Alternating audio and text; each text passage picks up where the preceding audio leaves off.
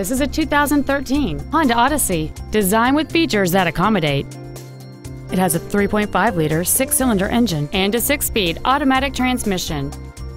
Its top features include a navigation system, Bluetooth mobile device connectivity, a rear-view camera, a low tire pressure indicator, a premium audio system, satellite radio, aluminum wheels, and a sunroof enables you to fill the cabin with fresh air at the push of a button.